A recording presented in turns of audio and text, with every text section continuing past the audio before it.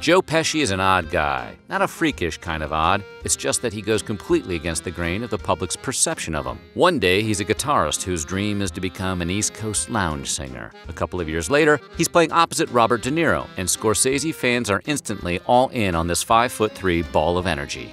Today, we are going to explore why Joe Pesci has led one of the most interesting lives of any actor. But before we get started, subscribe to our channel, Weird History, leave a comment, and let us know who you'd like to see us cover next. Now, go get your shine box. Joe Pesci was never supposed to become an actor. He dabbled with acting, but it wasn't his life's pursuit. Pesci really wanted to be a singer. Acting was something that just paid the bills and helped him stay visible in the entertainment industry. Funny enough, he sort of ended his career as a lounge singer.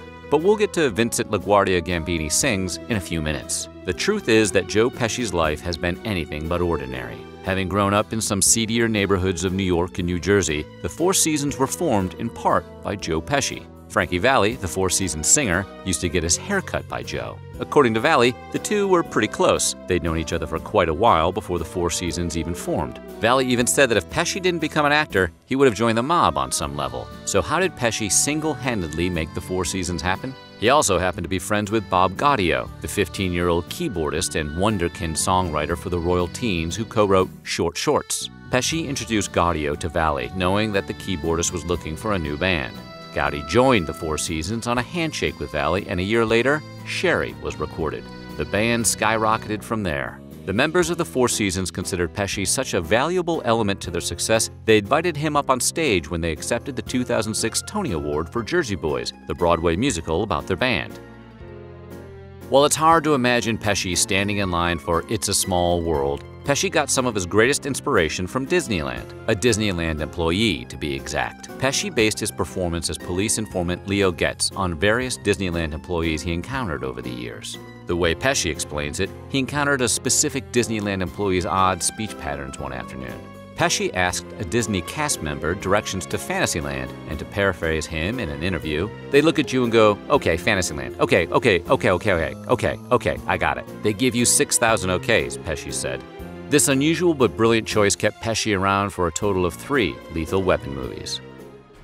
As mentioned earlier, becoming an actor wasn't Pesci's main focus. He really had his eyes set on becoming a singer. He sang standards and scored gigs in small local pop bands covering novelty pop music like The Peppermint Twist and Run Around Sue. To further his career, Pesci started looking for acting jobs. In fact, he already had a little screen time. When he was 10, he was a non-speaking extra on a television variety show called Star Time Kids with Connie Francis. It wasn't until he was 37 that he got his first real feature role. The 1976 movie was called The Death Collector.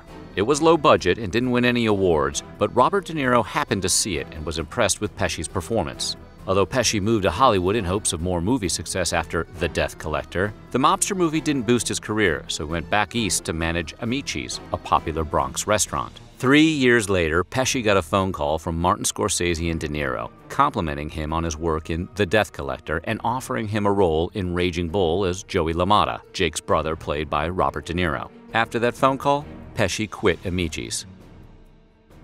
Pesci's father, Angelo Pesci, was a forklift driver for General Motors with a part-time job as a bartender. Pesci's father was also insistent he did not lead a life of hard labor the way he did. Instead, Angelo pushed his kids into show business in hopes of forging a path out of poverty. Although it wasn't his first love, Joe began to get roles in plays at the age of five. Pesci then found himself on the StarTime Kids variety show at 10. He looked back on the experience of getting nudged into acting with mixed feelings. I don't know if it's the right thing to do, push your kids into something and then stay on them until they do it. He also remarked that if he had more freedom, he'd have found something more calming in a different area where I did not have to use my emotions. Sometime around the middle of his adventures in the entertainment business, Pesci formed a small nightclub act with the late Frank Vincent. Vincent, as you'll remember, was whacked by Pesci in Goodfellas, then whacked Pesci in Casino, and then was whacked by Tony Soprano's crew on The Sopranos. The duo called themselves Vincent and Pesci, and they based their act a little on Laurel and Hardy and Martin and Lewis, a little comedy and a little music.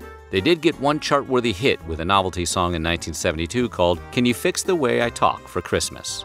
It's cringeworthy, like most novelty songs eventually become, but they redeemed themselves with an instrumental single called Little People Blues. It's got a funky groove.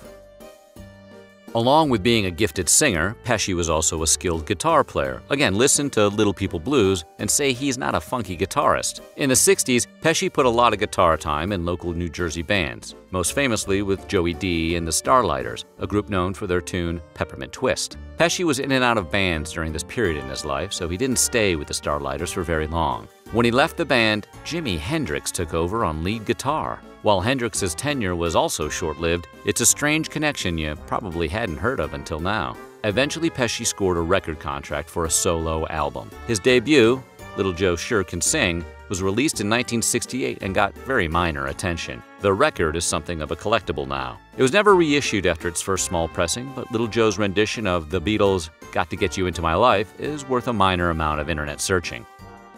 Here's a weird one. Pesci had a small part in a pretty messy murder case. Pesci is notoriously tight-lipped about his past marriages. We know he was married at least twice, once to an unknown woman in 1964 when he was 21 years old. There are even unconfirmed reports that say Pesci had a daughter born around 1967 with a mystery woman. The other time we can confirm is when he was married to Claudia Haro from 1988 to 1992. Not much is known about Pesci and Haro other than they had one daughter, and he bailed Haro out on a $1.25 million bond. In 2000, Haro was convicted of hiring a hitman to whack the guy she married after she divorced Pesci, Hollywood stuntman Garrett Warren. Haro allegedly hired a hitman to ambush and kill Warren in his apartment. But when Warren survived the attack, she allegedly hired another hitman to finish the job. The second attack never took place, and Haro was arrested in 2005. Pesci not only bailed Haro out on a $1.25 million bond, but he even showed up to her murder trial. It should also be noted that during the preliminary hearing, a witness strongly implied that Pesci paid for the hits that Haro put out on Warren. Pesci always wanted to be a singer, and even though he took a few shots at the musician life, he never became known for his music. But that didn't stop him from trying. In 1998, six years after starring in My Cousin Vinny, Pesci leveraged his role as Vincent Gambini and recorded an album as the fictional personal injury lawyer. The album was titled Vincent LaGuardia Gambini Sings Just For You. The album wasn't well received, and Pesci took more than a few hits from critics. With Lethal Weapon 4 already filmed, he would announce his retirement from acting less than a year later. Following his publicly declared retirement in 1999 from acting, Pesci has remained elusive to the general population both on and off screen. He's only made a few appearances, a couple of movies done as a favor for his friends Scorsese, De Niro, and Meryl Streep. That said, he seems to have caught the acting bug again, having appeared in an offbeat Snickers commercial and playing a key role in Scorsese's Netflix film, The Irishman. According to De Niro, both he and Scorsese needed to be extremely convincing to get Pesci back into film. As you watch this, Joe Pesci could very well be entering the third phase of his acting career. There's no doubt Pesci lived the lives equivalent of 10 mere mortals like you and I. What do you think of Joe Pesci? Let us know in the comments below, and while you're at it, check out some of these other stories from our weird history.